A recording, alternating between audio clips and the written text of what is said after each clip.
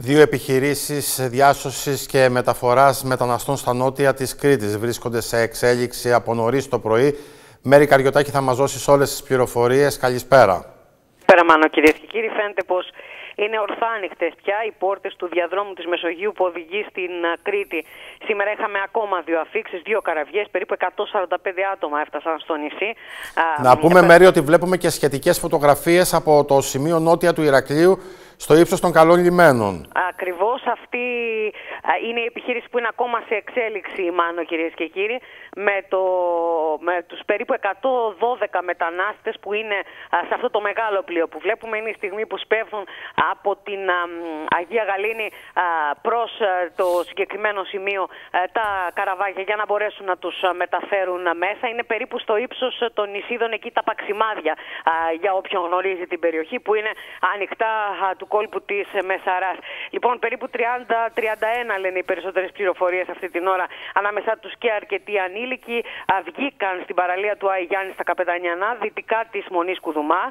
Και όπως είπαμε, ακόμα είναι σε εξέλιξη αυτή η επιχείρηση με τους 112 με το σκάφος που εντοπίστηκε να πλέει νότια της Κρήτης. Εκεί απέναντι από, στην Αγία Γαλήνη θα πάνε, στο τουριστικό θέρετρο της Νότιας Κρήτης.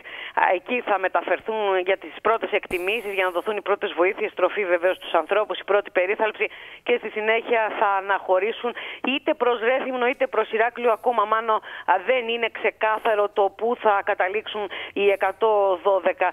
Να πούμε ότι φαίνεται ότι υπάρχουν και αρκετοί ανήλικοι ανάμεσά τους. Στην αρχή δεν φαίνονταν ότι ήταν τόσα πολλά άτομα, περίπου 60 υπολόγιζαν οι αρχές, αλλά τελικά φαίνεται ότι ξεπερνούν τους 100. Μόλις χθες, υπενθυμίζω, 25 μετανάστες εντοπίστηκαν στην παραλία της Τρυπητής στη ε, αυτό είναι κάτι σύνηθες το τελευταίο δίμηνο. Το τελευταίο διάστημα δεν υπάρχει ούτε μία μέρα χωρίς να καταγράφεται μια επιχείρηση του λιμενικού σώματος της Κρήτης, κυρίως από νότια της Γάβδου, κυρίως από, από αυτή την πλευρά.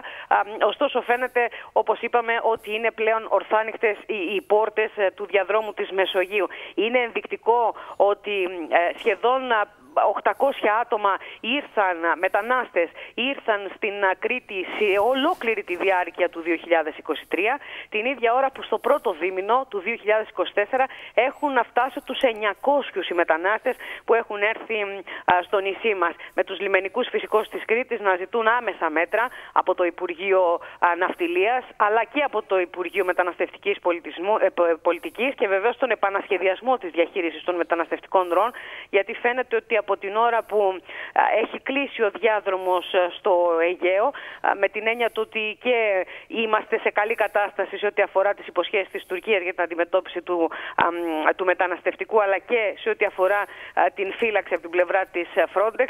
Η Μεσόγειος, το νότιο κριτικό είναι αυτό που θα σηκώσει το βάρος των μεταναστευτικών δρόμων με, με το δημοσίευμα της Deutsche Welle χτες μάλλον να κάνει λόγο για μια νέα λαμπεντούζα που φαίνεται φαίνεται ότι χτίζεται στη Γάβδο. Μέρη, να σε ευχαριστήσουμε πολύ.